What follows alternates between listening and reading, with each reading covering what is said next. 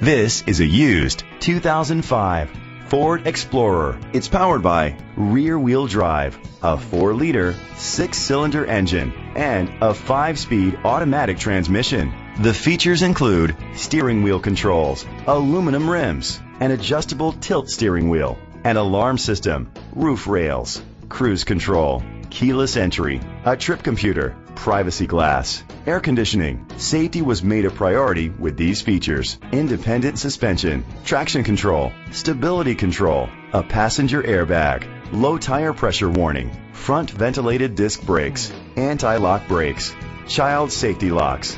Let us put you in the driver's seat today. Call or click to contact us. Skinner Ford is dedicated to doing everything possible to ensure that the experience you have selecting your next vehicle is a pleasant one.